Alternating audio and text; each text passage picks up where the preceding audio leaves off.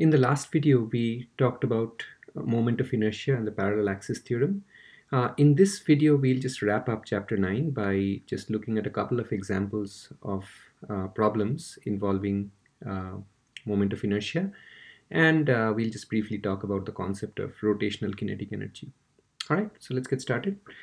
So um, I would highly recommend working through problem through the prob uh, problem on slide 27. This is a fairly simple problem, but I think it uh, illustrates all the concepts that we have discussed so far um, concerning rotational kinetic and I mean concerning a moment of inertia. So please do this problem. I think I might already have a solution written up. Uh, I'll post that to the Dropbox folder.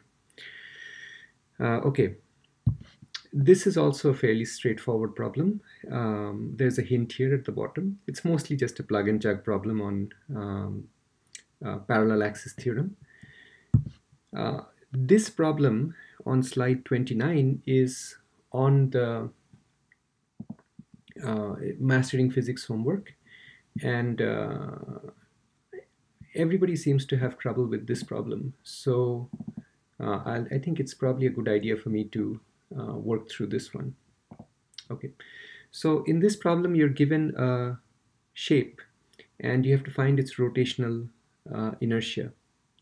Uh, and, and an axis is also specified and you have to find the rotational inertia of this shape about that axis. All right, so let's give it a try, see if we can figure it out. And once again, um, give it a try yourself and see if you can do it. And only then uh, look at the solution after you've really tried it. So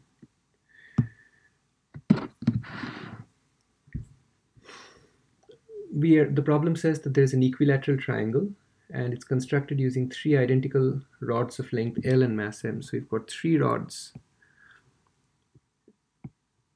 forming an equilateral triangle, right? And the length of the length of each rod is L, mass of each rod is M.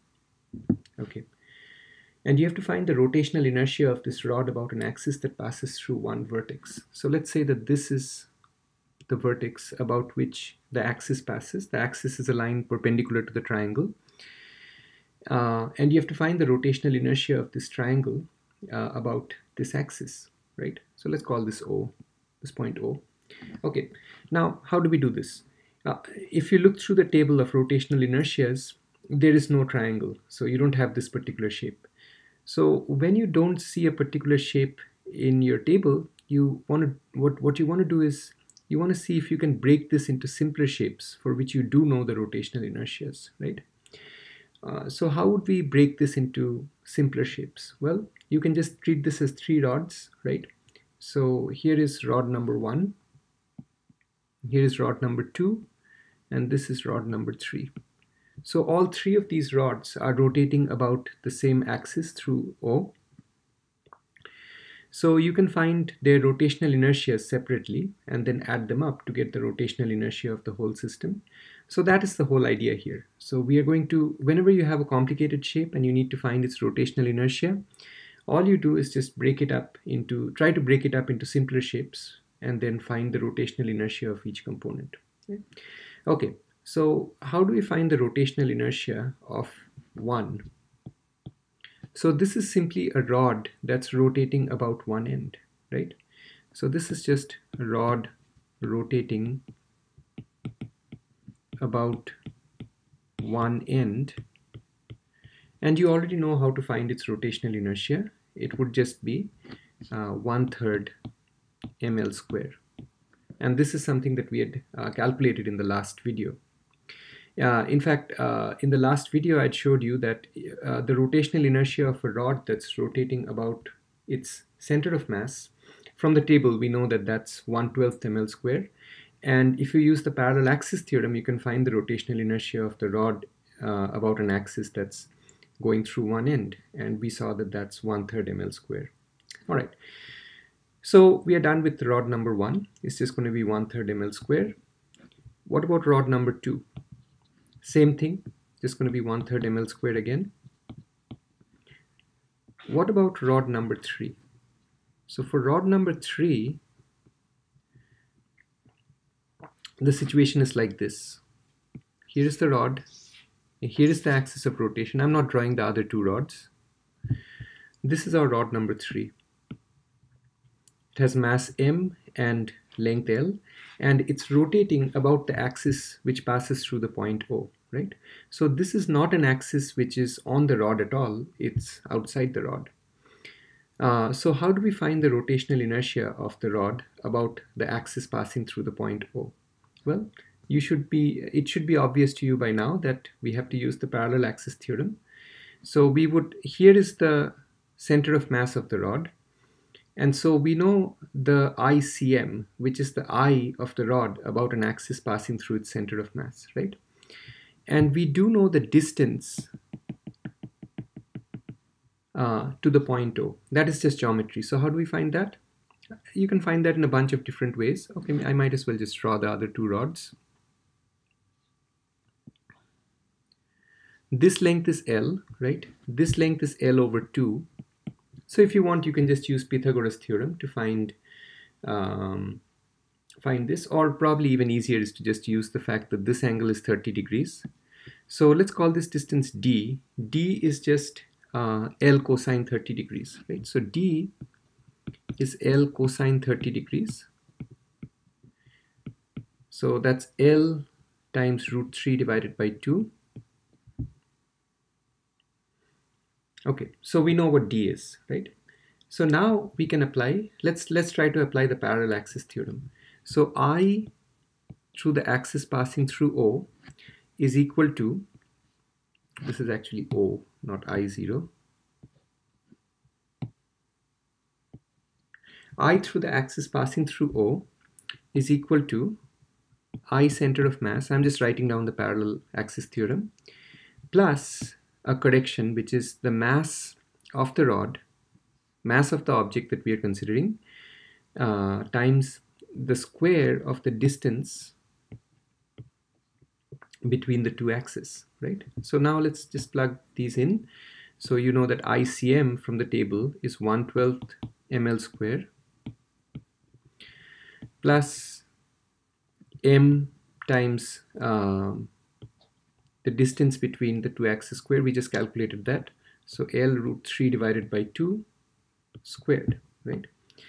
So it would just be 1 12th ml square plus ml square times 3 divided by 4. So let's see, so this would be 3 divided by 4. Um, so this can be written as 9 over 12 so 10 over 12 ml square, which is uh, 5 over 6 ml square, is uh, I for rod 3, right?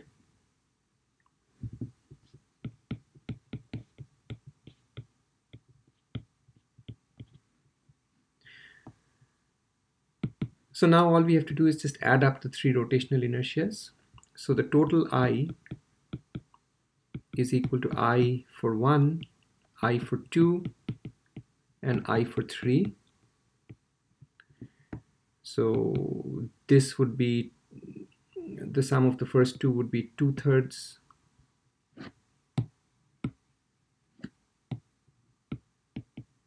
ml square plus 5 6 ml square just simplify this and you get the answer. Okay. Um, let's see if I get the correct answer. So if I so this is 4 over 6 so 9 uh, 4 over 6 so 9 over 6 yeah. So that that comes to 3 halves ml square and that matches with the answer at the bottom of the slide all right, so hopefully the point of this, uh, uh, the, the main point of this exercise was clear that you just, to find the moment of inertia of uh, a complicated shape, you just find the moment of inertia of its component parts and add them all up. And sometimes you might need to use the parallel axis theorem. All right, now let's talk about rotational kinetic energy.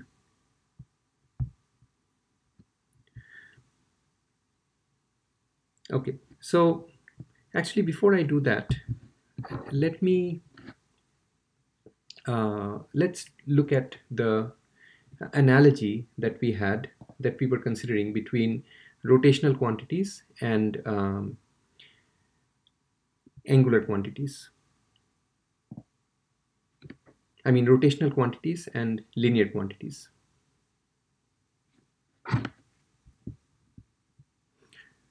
So we had this table. So going back to our analogy,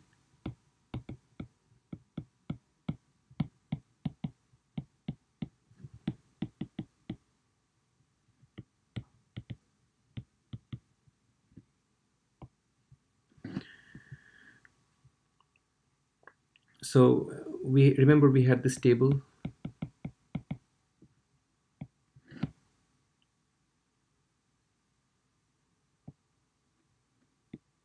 so we were writing down the linear variables and the angular variables for different quantities so for position the linear variable was s the angular variable was theta for velocity the linear variable was v, the tangential velocity, the angular velocity, uh, variable was omega. For acceleration, the linear variable was the tangential acceleration, the angular variable was uh, alpha. And uh, we can add one more entry to this table. Inertia, in the linear world, inertia is just measured by mass, right? And what is inertia measured by in the angular world? The correct answer is I. So we have one more entry for our table. So we'll keep coming back to this table. Okay, now we can actually make one more immediate addition to this table. Just from analogy, we've seen that the angular variables are very, very analogous to the linear variables. So um, in class, I would ask you this question. Suppose I want to write down a formula for kinetic energy in the linear variable, uh, in the linear world, that's just going to be half mv squared. Can you guess, even if you have no idea what it is, you're learning this for the first time, can you guess what the kinetic energy would be, formula would be in the angular world? I'll let you think about that for a moment. Okay, here is the answer. 1 half i omega squared. You can write that down entirely from analogy. So 1 half mv square over here. I corresponds to m, omega corresponds to v, and you have the answer for rotational kinetic energy. So if an object is rotating, its rotational kinetic energy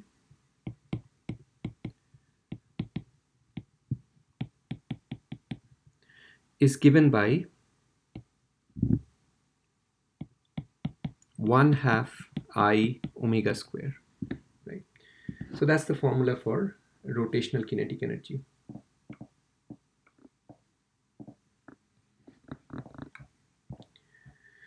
Okay, let's look at an application of this formula, the simplest possible application of this formula.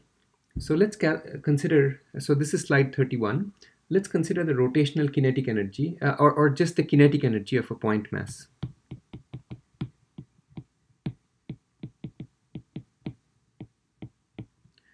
Moving in a circle.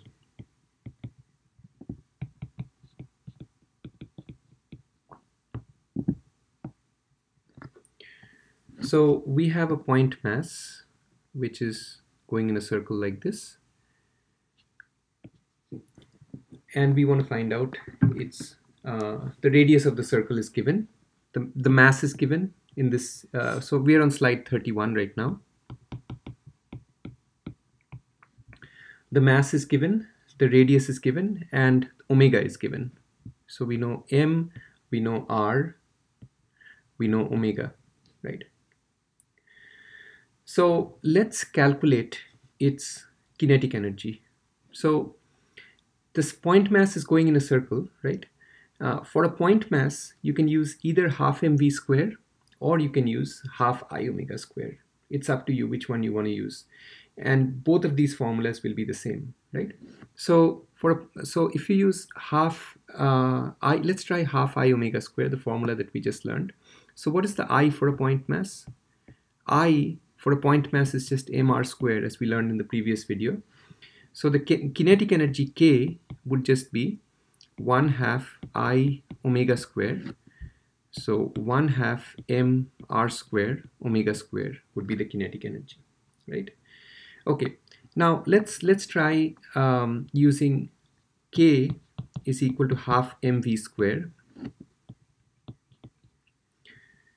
This will also give us the same answer. So let's see if, the, if it gives us the same answer. 1 half m. What's the relationship between v, r and omega? So v is equal so v is equal to r omega, right? And so I'm plugging that in. So v I use the fact that v equals r omega. So that's what I did over here. And so I got 1 half m r square omega square and it gave me the same thing. So for a point mass you can use either formula either 1 half mv square or 1 half i omega square for a point mass.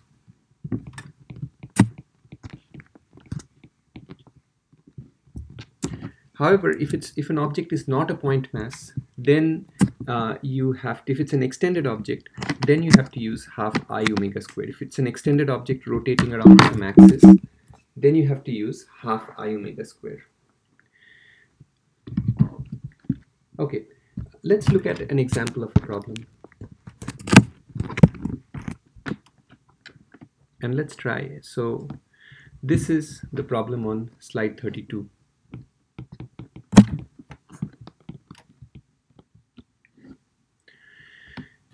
So once again, uh, give this problem, read this problem and give it a try yourself and see if you can figure it out.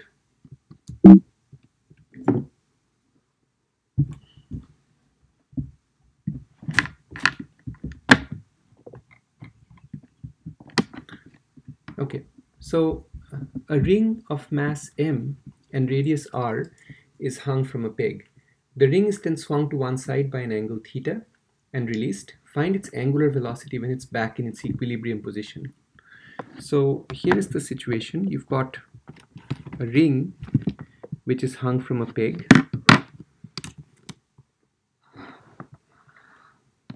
So this is the initial uh, configuration of the ring. Let's say that the center of the ring is somewhere over here. Okay.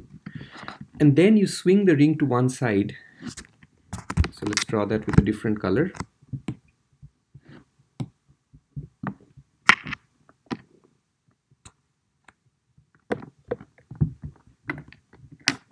So the center of the ring might now be over here.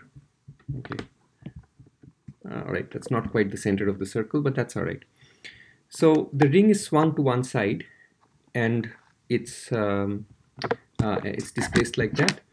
And then you let the ring go and it just swings back to its original position. Uh, this, the question is, what is its angular velocity when it's back in its equilibrium position? So let's see if we can figure that out. So one approach that you can use is conservation of energy. Uh, that which is k0 plus u0 plus W other equals K final plus U final, right? Now, we are ignoring any friction or air resistance and all that stuff, so we don't have any W other to worry about. What is the initial kinetic energy in the top position? It's starting from rest, so there's no initial kinetic energy. What is the initial potential energy at the top position? Now, here we are going to use a very important fact, which will often be useful um, in uh, coming chapters, which is that if you want to find the potential energy of an extended object, right, you can treat the object as a point mass located at its center, at its center of mass. So, potential energy of an extended object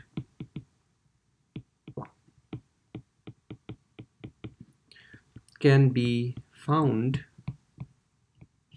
by treating the object as a point mass located at its center of mass. Uh, there is a slight qualification to this state statement. It's it should actually be center of gravity, but as we learn in chapter 11, um, the center of mass and center of gravity are pretty much the same point for most objects. So for, for let's forget about that minor technicality. So the potential uh, energy of an extended object can be found by just treating the object as a point mass. So that's how we are going to find the potential energy of the ring when it is in the displaced position, right? So we can just treat, the ring as a point mass located at its center, right? So we just need to figure out how high is the um, center of the ring. So this angle we are told is theta, right? So we just need to figure out uh, what is the height of theta. So what I'm going to do now is just draw the, I'm not going to draw the ring because it just makes the diagram more complicated. Uh, so the center of the ring was located at position A and then it's displaced to let's say position B and we want to find out what is the difference in height between the two locations of the center of the ring right um, this distance is r, this distance is r, this angle is theta. Remember we had done this calculation on the very, very first day of class. So this height, h, is just going to be r times 1 minus cosine theta. This is just a fact from geometry and uh, if you're having trouble seeing that this is true, just look at your notes from the very first day of class. Actually, I might as well just explain this. So this is r, and so this distance, this much, would be r cosine theta. And so this much would just be r minus r cosine theta. And so that's why h is equal to r times 1 minus cosine theta, right? So if you choose h equals 0 at the height of a, then the potential energy of the ring at point B. Remember that we are treating the ring as a point mass. The potential energy of, uh, of the ring when it's displaced to point B, uh, when the center is displaced to point B, is just going to be mg. So again, let's just write our formula here. K0 plus U0 plus W other was K plus U. Uh, this was 0, this was 0. So this is mg r 1 minus cosine theta.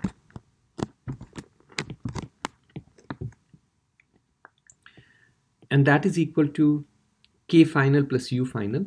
Uh, k final we'll have to think about for a moment. u final is just zero, right? So this is just zero. All right, now think. Of, Let's think about what is the final kinetic energy of the ring uh, when it's back to the lower, uh, when its center is back to position A. The ring has rotational kinetic energy, and the formula for that is half i omega square and that omega is what we are looking for right so omega is what we are solving for so all that we need is i for the ring now what should i use for i for a ring if you look at the table you'll see that i for a ring uh, let me just pull up the table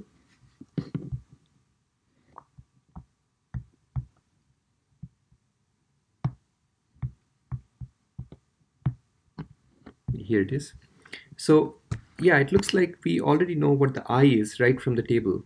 It's just uh, half, it's just mr square, right? So it looks like mr square is what we should use. Uh, but there is one catch that you should be careful about. mr, if you use mr square, you'll get the wrong answer. Uh, can you think about the reason why? I'll let you think about it for a moment mr square should not be used for i of the ring. So here's our ring. You should not use mr square. What is the reason for that? The reason is that mr squared, if you look in the table, is the rotational inertia of a ring about an axis which is passing through the center, right? This ring is not rotating about an axis passing through its center. It's rotating about an axis which is passing through a point on the rim of the ring, right? So it's rotating about this point about an axis passing through this point, it's not rotating about an axis passing through the center. So it's very very important when you're using i to use i about the correct axis so i should be is the rotational inertia of the ring about an axis through the rim of the ring. So you should use the correct I. Um, and let's just go ahead and find that. So we need the I about an axis through this point rather than through the center, right? How do we do that? So I, uh, we know the I of the ring about an axis passing through the center, and we're going to call that ICM. And so we just simply use the parallel axis theorem. So I would be equal to ICM plus m d square. D is the distance between the two axes in which which in this case is just r right so the i for the ring the correct i to use is mr squared this one came from the table plus m uh, r squared again because d is also equal to r so it's just 2mr squared that is the correct I to use. I hope this point is clear to you. Um, that's the correct I to use. So mgr 1 minus cosine theta is equal to half 2mr squared times omega square and then we just have to solve for omega uh, sorry, uh, I think I uh, I'm using a different M now. Uh, so these capital M's should all be little m. I'm sorry about that. Maybe I should just change. Yeah. So yeah, I mean both the M's mean the same thing. So I should probably just call this capital M. Capital M is the mass of the ring. Okay. All right. And it cancels out too. So let's solve for omega uh, omega is equal to square root of g over r 1 minus cosine theta and that's the answer so c is the correct answer choice all right okay so this is an important so there are two takeaways from this problem uh, takeaway number one is that potential energy of an extended object how did we find that? We treated the object as a point mass located at its center and then just used MGH, right? And the second very important takeaway is that when you're calculating the I, make sure that I is about the correct axis. In the table, the I's are given for uh, the most convenient axis, which is the axis passing through the center of mass. That's usually what's given in the table. But you want to make sure that you're using the correct I uh, when you're doing a problem. All right, so we'll stop. Uh, I think that's the last thing that I wanted to discuss in this particular problem. Uh, the problem on the last slide, the frictionless pulley, um, is is also a very important problem. So make sure you work through that yourself. I've given you a lot of hints on how to do it, so you should be able to do it yourself. All right, so that's all that there is. That concludes our discussion of chapter 9. Right? So I'm stopping the video here.